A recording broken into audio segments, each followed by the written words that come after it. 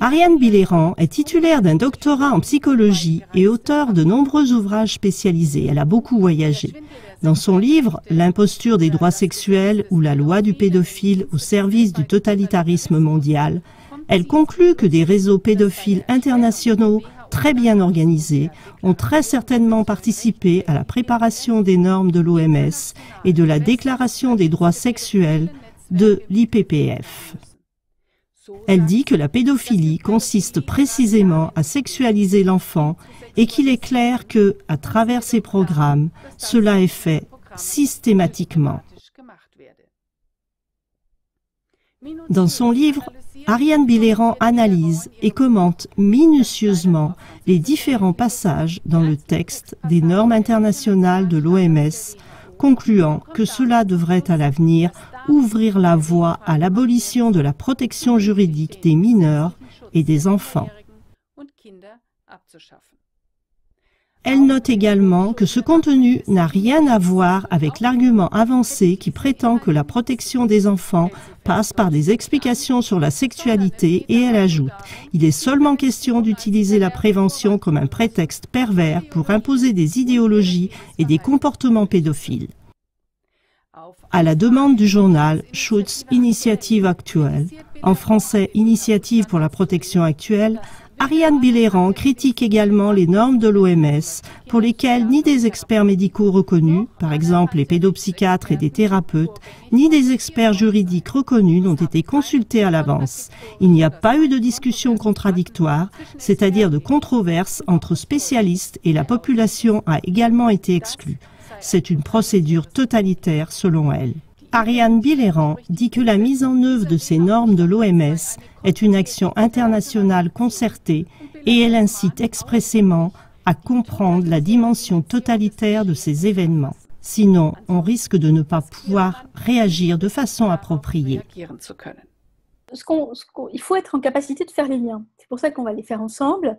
Euh, c'est-à-dire que ces fameux droits sexuels qui comporte hein, l'éducation sexuelle à partir de 0 ans, je répète donc du nourrisson, et on va voir pourquoi, parce que tout ça, ça, a des liens, euh, eh bien, ça rentre par plein de ramifications. Et ça rentre effectivement par des modifications législatives. Donc, moi, aujourd'hui, j'aimerais beaucoup diffuser un petit peu le travail méconnu euh, de Judith Reisman. Hein. donc, euh, je vais partir de son livre euh, Qu'il sait la face obscure de l'éducation sexuelle. Je pense qu'il faut quand même de la révolution sexuelle, pardon. ça comprend beaucoup l'éducation sexuelle et elle explique bien dans son livre comment il y a des évolutions législatives qui sont faites à partir de l'inflexion évidemment de ceux d'en haut qui ont plutôt ce, ce type de prédisposition et d'idéologie et comment nous subissons en fait toute une idéologie de l'enfant sexualisé, euh, de l'enfant qui serait consentant, etc. Euh, idéologie qui est en fait tout à fait revendiquée depuis très longtemps par les pédophiles. Je veux dire, c'est pas nouveau. Hein euh, ça n'est absolument pas nouveau. On avait en 1968 et 68 à jouir sans, entrave, sans entrave, évidemment sans entrave sur son prochain, donc on fait ce qu'on veut. Et, donc ce droit à jouir maintenant, c'est euh, c'est un droit à jouir pourvu que l'autre soit consentant. Et le problème, c'est qu'on attribue un consentement à l'enfant. Et on voit bien ces évolutions. Tout ça n'est absolument pas hasard. Tout ça est ficelé et cousu euh, euh, d'avance. Hein, et les débats sont soumis aux Français à partir du moment où de toute façon ils sont déjà tranchés. je crois qu'il faut aussi avoir conscience de, des manipulations dans lesquelles on est pris. Hein. Donc euh, voilà, donc l'idée c'est que l'enfant il aurait une sexualité déjà, première idée, et on va voir d'où ça vient et qui l'a promu, certainement pas les psys, et un consentement propre. Voilà. Donc tout ça, euh, ça crée deux, mouvements, hein, évidemment. Un mouvement pro-pédophile qui vient euh, attaquer euh, tous les travaux scientifiques sur la mémoire traumatique et sur les traumas infantiles, hein, niant que les abus sexuels infantiles et les violences infantiles puissent avoir des, conséquences extrêmement graves sur le développement psychique de l'enfant et du futur adulte. Et, donc, on retrouve là aussi, en fait, hein, des, euh, des, éléments euh, extrêmement préoccupants. Et je voudrais dire que moi, je suis extrêmement préoccupée euh, qu'il y ait si peu de psy à s'inquiéter gravement de ce qui est en train de se passer. De dire, voilà, il y a des organismes internationaux qui promeuvent ces droits sexuels pour les enfants, Donc, en contrevenant complètement donc à deux principes qui est le fait que l'enfant n'a pas de consentement, ne peut pas avoir de consentement, et le deuxième principe que l'enfant n'a pas de sexualité. Hein, donc euh, développement de sexualité au sens sexualité adulte, donc il n'est pas du tout en, une façon il n'a pas de sexualité, il, a un développement psychique euh, mais même cette notion de développement psychosexuel, elle nous vient de, certains personnages sinistres dont on va parler. Donc la sexualité, ça commence avec le développement euh, des euh, pulsions biologiques à l'adolescence. Et je dois dire qu'il faut aussi rajouter que quand on a des sexualités précoces chez les enfants, par exemple une masturbation compulsive, c'est quand même un indicateur que l'enfant est transgressé. Donc on, doit être très clair là-dessus. Alors évidemment, c'est l'inverse, c'est-à-dire que ces gens-là, ces promoteurs-là, euh, ils créent la transgression, puis ensuite ils disent ah ben, regardez, l'enfant il a une sexualité puisqu'il se masturbe. Hein? Donc, on voit bien l'effet pervers. Alors, euh, les sexual rights, euh, donc promus par l'IPPF, donc le banning familial international, sur lequel rebondit l'OMS, et puis ensuite on a l'UNESCO, Amnesty International, enfin tous ces organismes qui donnent ça apparaît comme quelque chose d'exceptionnellement révolutionnaire alors que c'est extrêmement archaïque et la sexuality education, l'éducation à la sexualité. Alors, je crois qu'il faut quand même euh, euh, se pencher donc sur euh, qui, et, c'est un peu l'objet, je pense, de, de, l'émission qu'on fait, mm-hmm. qui a promu, qui promeut et d'où ça vient. Donc, il faut être très clair. Alors là, on ne va pas faire les complotistes parce qu'en fait, c'est écrit. Mm. Donc, à un moment donné, moi, je ne fais que retranscrire ce qui est écrit. Et simplement, je fais des recherches pour les gens qui n'ont pas le temps de les, faire, tout simplement. Alors, nous allons partir des standards pour l'éducation sexuelle en Europe. Hein. donc, ce document, cadre de référence pour les décideurs politiques les autorités compétentes en matière d'éducation et de santé, et les spécialistes. Hein, il y a aussi un document de conseil de mise en œuvre dont on pourra parler. Hein. donc, euh, on voit bien qu'on est sur des directives européennes qui rentrent dans les pays et qui ne nous demandent pas notre avis, et qui rentrent par le ministère de la Santé. Dans ces standards, on se rappelle qu'il y avait une matrice, une matrice à partir de 0 ans hein, d'éducation sexuelle. Il faut éduquer au sexe à partir de 0 ans. Alors, par exemple, à 4 ans, en anglais, on éduque aux, sexual feelings. donc, euh, aux sensations sexuelles, c'est sympa. Hein euh, alors là, entre 0 et 4 ans, on étudie le plaisir et la satisfaction liés au toucher de son propre corps, la masturbation infantile précoce. Hein c'est avec des adultes euh, partenaires. Hein, je, répète, je, redonne juste des exemples pour que les gens aient la curiosité d'aller voir. Euh, donc, c'est un petit peu ce cadre-là. Alors, on se dit qui a pondu ce document?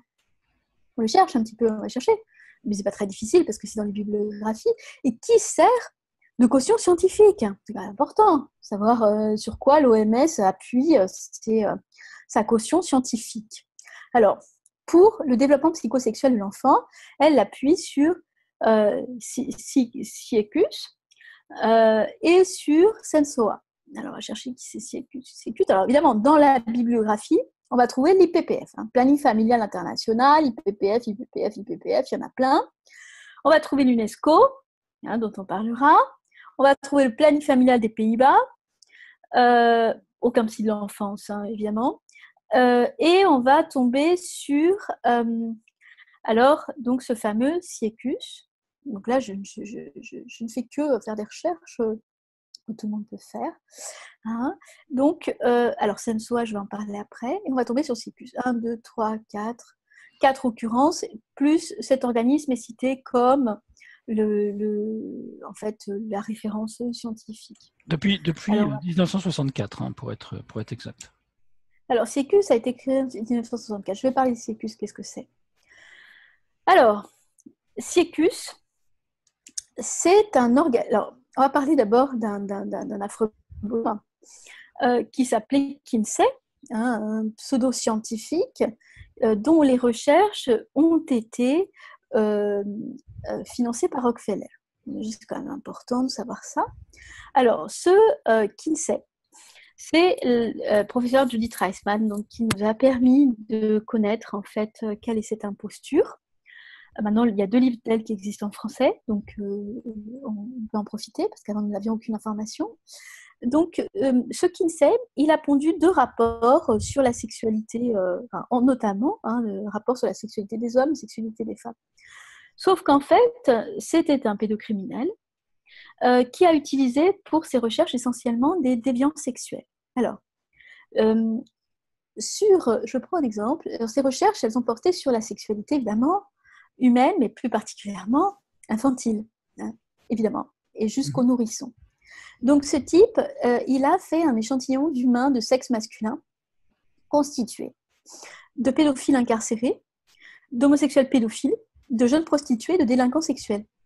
Alors sur les chiffres, sur 4120 hommes, 3526 étaient des déviants sexuels avérés. D'accord? Dont 1600 des psychopathes. je, partage, hein, à l'écran, je partage à l'écran l'information sur le Kinsey Institute, hein, de l'Institut Kinsey. Oui, oui, on va parler près du Kinsey. Donc, voilà la scientificité de ce type pour nous expliquer ce que c'est que la sexualité humaine. Donc, on voit bien que déjà, euh, dans la à la base, euh, pour nous expliquer comment fonctionne la sexualité de la société américaine, il y a quand même un problème dans le choix d'échantillons. Tout le monde peut le comprendre. Pas besoin d'avoir fait Polytechnique pour comprendre ça. Euh, et ça a été dénoncé par plusieurs professeurs d'université. Il a fait une généralisation induite de ses résultats ça a même été admis par l'un de ses co-auteurs, Paul Gebhardt. D'accord? Donc même les types avec qui il travaillait ont admis que les résultats étaient trafics. Alors, il a euh, écrit un livre qui s'appelle Le comportement sexuel de l'homme, qui a impliqué l'exploitation sexuelle de 1475 nourrissons. D'accord? Et garçons, en vue des petits garçons, en vue d'obtenir des informations sur le prétendu orgasme des nourrissons et des enfants. Ok? Donc, on voit bien quand même euh, alors pourquoi je parle de Kinsey? Parce que je fais juste un petit rapprochement, parce que derrière, on va voir l'Institut Kinsey qui maintenant est habilité à l'ONU, justement pour les questions de santé sexuelle, de genre et de reproduction. Et de Kinsey va partir le fameux CIECUS, qui est donc dans la bibliographie des standards. Voilà. Euh, dans les collaborateurs de Kinsey, on a un Waldel Pomeroy qui a écrit un livre Boys and Sex. C'est un collaborateur dont on va parler euh, à plusieurs reprises, consacré à l'éducation sexuelle, dans lequel il fait la promotion de la zoophilie. Euh, beaucoup de professeurs universités américains ont dénoncé hein, l'imposture Kinsey euh, pour obtenir des résultats en fait à l'image de ses propres projections pédophiles. Dans son livre sur, parce qu'elle écrit un autre livre sur le comportement sexuel de la femme, euh, par exemple, page 117 de ce livre en version euh, euh, anglaise, Sexual Behavior in Human Female, il y a une partie intitulée Contacts érotiques de l'enfant avec des hommes adultes, incidence et fréquence des contacts avec les adultes. partie dans laquelle il affirme que les abus sexuels sur les enfants sont absolument bénins. D'accord? Sur 18 000 interviews présumées de femmes et d'hommes, il n'a compté qu'une seule victime possible d'abus sexuels pendant l'enfance. Alors ça, je vous pose déjà le personnage de qui était Kinsey, mais on va voir qu'il a fait beaucoup de petits. Euh, mais avant ça, je voudrais quand même euh, rappeler que, euh, donc, financé par Rockefeller, mais également, Kinsey était en contact avec des nazis. Et c'est très important pour la suite parce qu'on va remonter à la filiation avec Aleister Crowley. Donc, euh, il avait un contact particulier. En fait, euh, Kinsey, il avait créé toute une équipe de pédophiles hein, euh, qui faisaient des recherches, soi-disant scientifiques. Donc, par exemple, des grands-pères qui abusaient de leurs petites filles, qui faisaient des recherches hein, et qui envoyaient leurs résultats projectifs de pédophiles ou de pédocriminels à donc Kinsey. Et dans cet arrêt, il y avait un nazi, Baluzek, hein, dont tout le monde savait qu'il était extrêmement euh, un pédophile extrêmement actif dans la Pologne occupée, un officier nazi extrêmement euh, gradé, d'accord, euh, qui envoyait régulièrement les détails de ses expériences aux chercheurs Kinsey. D'accord Les sources que donne Judith Reisman sont le National Zeitung, donc de 15 mai 1957, donc c'est quand même des journaux officiels allemands, on nous accusait encore de complotisme. Et donc Kinsey entretenait avec Baluzek une correspondance régulière et intense. Euh, ce Baluzek, il recevait aussi de la part de Kinsey des livres qui traitaient de la sexualité des enfants. Voilà donc à qui nous avons affaire comme figure de proue de l'enfant sexualisé, comme on en avait parlé l'année dernière, ce n'est pas Freud qui a dit que l'enfant était sexualisé, c'est bien Kinsey, puisque Freud parlait euh, précisément de l'éducation pour refouler hein, toute la part pulsionnelle euh, et faire en sorte que euh, nous puissions avoir un développement moral. là, la sexualisation de l'enfant, c'est bien Kinsey. Et donc, on voit bien voilà, la ramification. et pour finir juste, quel est l'objectif de Kinsey et de son équipe parce qu'il a toute une équipe, et après on va avoir les ramifications avec le planning familial international, et on va avoir les ramifications avec CECUS et l'Institut Kinsey. Et bien dans son équipe, et l'UNESCO. Et donc dans son équipe, euh, et lui, il veut absolument affirmer que nous sommes tous des espèces de bonobos hyper sexualisés, la sexualité, la sexualité est au centre de notre existence, nous pouvons tous avoir du sexe avec tout le monde, hein, il y a une minimisation de l'inceste, etc. Et même le plus petit des bébés a la capacité d'avoir un orgasme. D'où euh, l'éducation sexuelle dès la naissance, puisque l'activité sexuelle pour Kinsey et son équipe serait naturelle chez l'animal humain dès la naissance. Hein. Donc, toute euh, la partie éducation sexuelle, et j'avais déjà relevé la contradiction des termes entre éducation et sexualité, parce qu'on n'éduque pas à une pulsion, on éduque à contrer des pulsions, eh bien, il faut savoir que ce terme, quiconque l'emploie doit savoir que ce terme est né dans l'Institut Kinsey et plus précisément avec CIECUS, qui a pour mission de développer l'éducation sexuelle dans le monde. Voilà. Donc, on a dans cette idéologie, pour reprendre mon, fil de, de euh, avant de, parler d'éducation sexuelle, cette idée chez Kinsey que de toute façon, si l'enfant se plaint pas, il est OK. Donc on retrouve bien aujourd'hui cette histoire de consentement tacite qu'on veut euh, nous, infliger sur les enfants, enfants. Mais bon, je crois qu'il faut le dire, euh, et, Judith Reisman le résume très bien en disant que ça, c'est quand même. Ça a la même crédibilité que le violeur qui va dire que la victime, a eu le viol. Hein. Donc, on est avec toute une équipe de pédocriminels.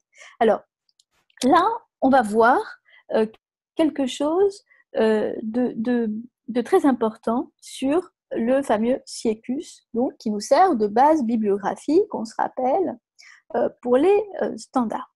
Donc, je vous ai parlé du docteur Pomeroy, hein, le fameux euh, Pomeroy, qui est un de ses collaborateurs qui prenait la zoophilie. Donc, lui, c'est un des employés de l'organisation Siecus, d'accord Qui a pour but d'enseigner la sexualité aux enfants. Ce docteur Pomeroy, donc en 1980, donc ancien collaborateur du Kinsey, témoigne en faveur d'un pornographe au cours d'une affaire judiciaire. Elle reconnaît qu'il a recherché des fonds de la part de la pornographie pour produire sa propre pornographie impliquant des enfants. D'accord? Voilà l'organisme CIECUS hein, dont on nous parle, qui sert de référence scientifique, une caution scientifique dans les standards. Mais encore, nous allons voir euh, pour CIECUS. La cofondatrice de l'organisation CIECUS, c'est Marie Calderon ancienne présidente cofondatrice de l'organisation CIECUS. Alors, CIECUS, ça veut dire Sexuality Information and Education Council of the United States. Alors, elle, euh, elle s'exprime en 1980 lors de la réunion annuelle de l'Association des médecins du planning familial international. Et elle explique que le but de CIECUS, c'est de permettre à la société d'aujourd'hui, de façon très large et profonde, la prise de conscience de l'importance vitale de la sexualité des nourrissons et des enfants. C'est l'objectif principal de CIECUS. Dans la revue Obstetrical euh, Gynecological News en 1980. D'accord? Et en 1983, ce docteur Calderon écrit sur les capacités sexuelles de l'enfant et rappelle qu'il a des capacités évolutives. Comme c'est bizarre, c'est le terme qu'on va trouver dans la Déclaration des droits sexuels de l'IPPF. Euh, Kinsey appelle toutes les activités sexuelles de l'enfant, il appelle ça des jeux. C'est toujours des jeux, évidemment. Et on va retrouver ça beaucoup dans la, sexologie qui prône la sexualité des enfants. C'est des jeux de docteur, c'est des jeux. C'est absolument innocent. Voilà. Donc, on est bien avec quelques, très puissants idéologues euh, pédophiles euh, qui viennent nous imposer un certain nombre de choses. Alors, je peux rajouter aussi euh, je vous donne quand même beaucoup d'informations, mais c'est important, que euh, dans les standards, l'enfant, il est partenaire, hein, il est dit partenaire pour une éducation sexuelle participative avec l'adulte. Okay Moi, ça m'a vraiment étonné ce mot partenaire parce que euh, ça démontre quand même une espèce de consentement de l'enfant à participer à des trucs avec l'adulte, une sorte d'égalité, un égalitarisme. Euh, comme si l'activité sexuelle à ce moment-là fait l'objet d'une entente, eh bien c'est un terme systématiquement utilisé par Kinsey, l'enfant partenaire de l'adulte, etc., etc. Donc, pourquoi ça nous concerne maintenant? Parce que, évidemment, ça arrive euh, en France euh, euh, et ça arrive en Europe, bien sûr, par l'intermédiaire de ces standards. Je vais rajouter que ce Pomeroy, hein, donc ancien collaborateur de Siecus, était lui-même une ancienne victime des rapports avec, sexuels avec son père, qu'il a qualifié à plusieurs reprises de merveilleux. Hein, donc, voilà. Voilà, en gros, un petit peu. abuseur. Souvent les abusés. Ah bah bien sûr, anti, bien sûr, bien sûr pas, tout le temps, mais euh, euh, il peut y avoir une grande propension quand ils ne trouvent pas d'aide, bien sûr, et ils vont s'identifier à l'agresseur, etc. Donc, euh, on a ces fameux droits sexuels qui viennent nous expliquer que les enfants seraient sexuels dès la naissance, comme dans les standards pour l'éducation sexuelle en Europe. Et on va donc avoir cette promotion idéologique avec cette incitation à changer notre paradigme et également avoir des intervenants extérieurs qui rentrent dans les écoles. Alors, les droits sexuels de base, ce serait donc des activités sexuelles consensuelles entre adultes et enfants. Hein, euh, euh, voilà, avec, avec tout le monde. Alors, qui a rédigé les premiers programmes scolaires d'éducation sexuelle? Le fameux Pomeroy dont je vous ai déjà parlé, la Calderon dont je vous ai parlé, et d'autres. Mais ça vous montre quand même euh, voilà le, portrait. Et les agences de sensibilisation, eh bien, ça va être notamment le fameux planning familial. Et donc, cette Marie Calderon, on va la retrouver euh, comme ancienne directrice médicale du planning familial. Donc, le CIECUS, créé en 1964, avec, lancé à l'Institut Kinsey, D'accord Donc, ces fameux siécus qu'on retrouve comme base scientifique des standards pour l'éducation sexuelle en Europe qui rentrent maintenant dans toutes les écoles. Eh bien, euh, l'objectif est d'enseigner l'éducation sexuelle dans les écoles, euh, a surtout pour idée d'infiltrer les programmes d'information sur la sexualité humaine. Alors, par qui a été subventionné Siecus Par Playboy, la fondation Playboy. Et le fameux docteur Pomeroy, dont je vous ai déjà parlé, il élabore une technique de la restructuration de l'attitude sexuelle. Ça s'appelle Sexual Attitude Restructuring, SAR. En émettant l'idée qu'il faut euh, développer des supports graphiques et pornographiques pour désensibiliser désinhiber le cerveau humain. Donc il s'agit de briser les inhibitions. Et euh, euh, il faut donc le montrer le plus possible et le plus tôt possible. Hein? voilà, donc ça c'est pour désinhiber. Hein, on n'est plus du tout dans un, dans un contexte de société fondé sur une éducation euh, euh, morale pour essayer d'être à peu près, de, vivre ensemble. Et donc ce planning familial qui va sponsoriser, être, on va dire, le, fer de lance de l'éducation complète sur la santé, maintenant ils disent euh, éducation sexuelle holistique, hein, va commencer à distribuer des ouvrages sexuellement explicites à des enfants et à des enfants du primaire. Hein. Alors, il faut quand même savoir que le CIECUS, euh, a été euh, catégorisé par le Time Magazine. Time Magazine ne peut pas non plus euh, accusé d'être complotiste. Dans le numéro du 14 avril 1980, il a accusé de faire partie d'un lobby universitaire pro-inceste menant une campagne pour ébranler le tabou de l'inceste. Et en 1991, donc le fameux CIECUS lance sa série de directives pour l'éducation sexuelle complète en indiquant bien que seuls des enseignants formés par des partisans de Kinsey seraient autorisés à entrer dans les salles de classe américaine. Euh, encourage tous les élèves à utiliser des ouvrages sexuellement explicites proposant des images, des imprimés, etc. et banalise absolument toutes les pratiques sexuelles. Voilà. Voilà qui est CIECUS, la caution scientifique des standards pour l'éducation sexuelle en Europe. Alors en quoi c'est préoccupant? Moi j'ai eu des témoignages en France. Bon déjà c'est préoccupant parce que parce qu'en France on s'appuie bien sur les standards pour l'éducation sexuelle en Europe. Hein. Euh, alors il y a quand même toute une population qui se contient encore dans le déni, mais il faut bien savoir que ce n'est pas forcément les enseignants euh, qui vont, les enseignants de l'éducation nationale qui vont enseigner ça, puisque ça provient du ministère de la Santé, qui est en partenariat avec le ministère de l'Éducation nationale. Donc ça veut dire que le ministère de la Santé rentre comme il veut dans les écoles. Alors j'ai eu des échos, ça peut être par des infirmières, ça peut être par des formateurs à l'éducation sexuelle, puisque c'est un nouveau métier. Hein. Il y a même une association des formateurs à l'éducation sexuelle. Euh, et, on m'a fait aussi un témoignage que sur le DU euh, portant sur euh, la lutte contre les discriminations hommes-femmes, on citait bien Kinsey. Donc, on voit bien toute l'intrusion idéologique euh, qui arrive sur cette question euh, du droit sexuel euh, de l'enfant porté par l'ONU.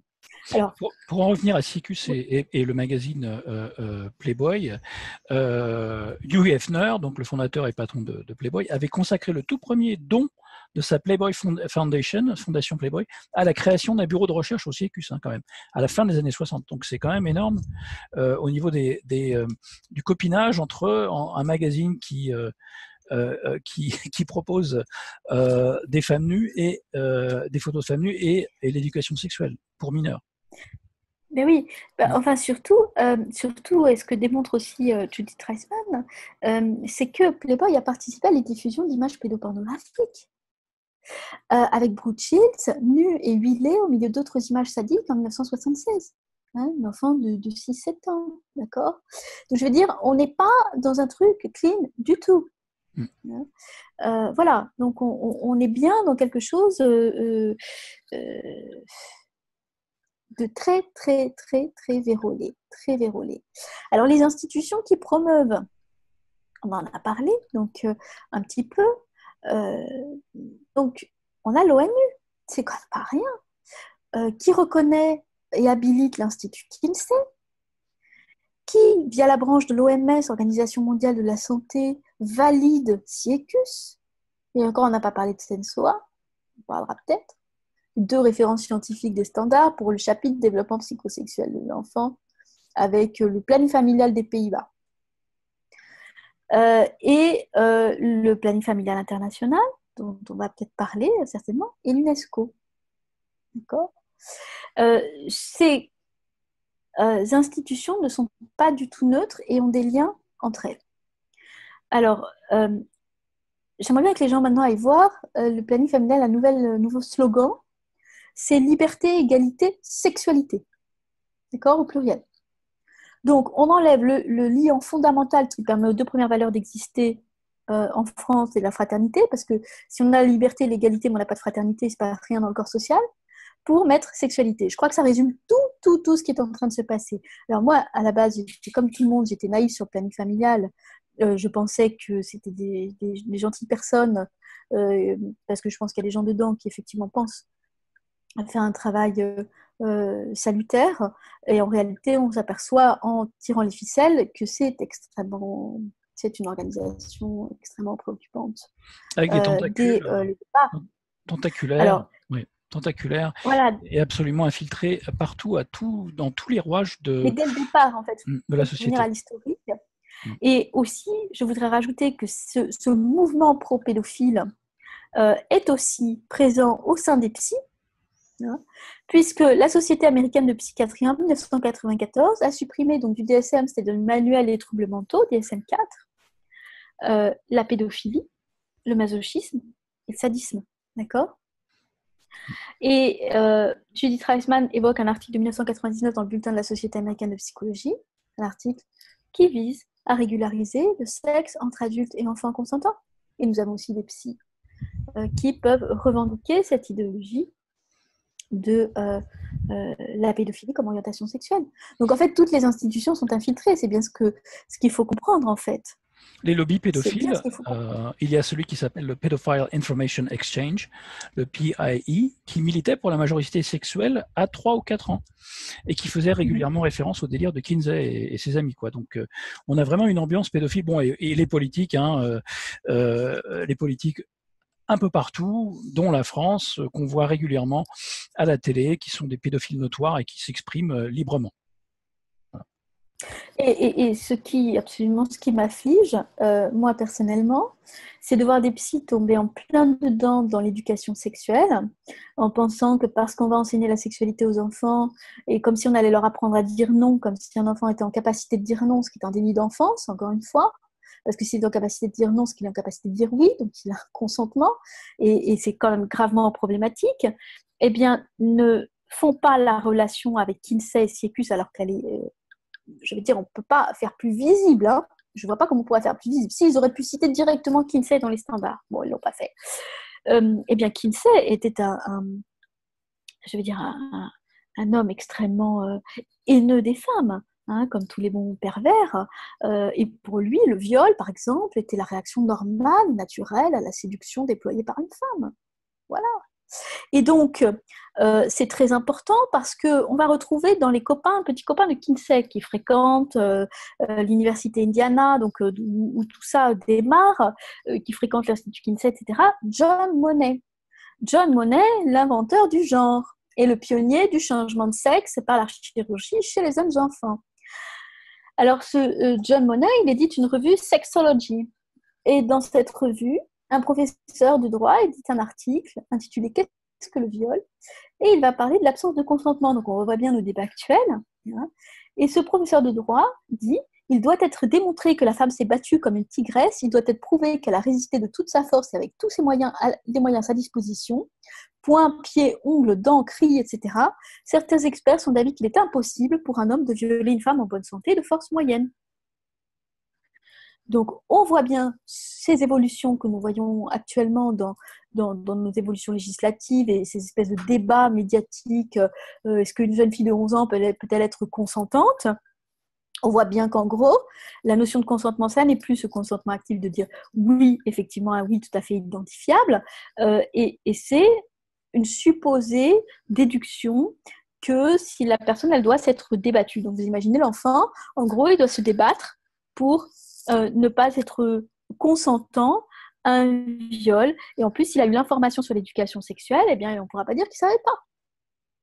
Voilà, ça, c'est qui ne sait c'est pas inventé de nulle part, c'est qui sait, et on voit bien toute la logique euh, euh, qui euh, arrive par la suite. Donc, ce que je voulais quand même souligner, Marc, c'est la question du lien derrière. C'est-à-dire, je vous ai, j'ai parlé tout à l'heure un petit peu de, John Monnet, donc la question du genre qui revient en fait hein, dans ses droits sexuels en permanence, puisqu'on enseigne les, identités de genre aux enfants de 4 ans dans la matrice euh, des standards euh, pour euh, l'éducation sexuelle en Europe. Donc, ce fameux John Monnet, professeur émérite de sexologie de renommée mondiale à l'université John Hopkins, a pratiqué, donc est un copain de Kinsey, il fréquentait, il était un disciple en fait, hein, Kinsey. il a pratiqué des opérations chirurgicales euh, et notamment euh, d'un petit garçon euh, qu'il a voulu transformer en petite fille. Donc là, on est vraiment dans des expériences dignes de celles de Mengele. Hein. et ce fameux Monet, donc voilà encore une référence qui va arriver dans l'Institut Kinsey avec Pomeroy, avec Gebhard, le collaborateur de, de, Kinsey, avec la Calderon, pour être expert en pédagogie sexuelle. D'accord? Donc lui, il est expert en pédagogie sexuelle dans l'Institut Kinsey. Et ce même John Monet, il faut que je finisse parce que c'est très important, il prône la pédophilie dans le Journal of Pedophilia de septembre 1987 qui s'appelle Païdika. Voilà à qui nous avons affaire. Donc je crois que c'est quand même très clair. Et on va pouvoir parler peut-être après de la question du planning familial et de Margaret Sanger et des thèses eugénistes qui sont aussi derrière tout ça.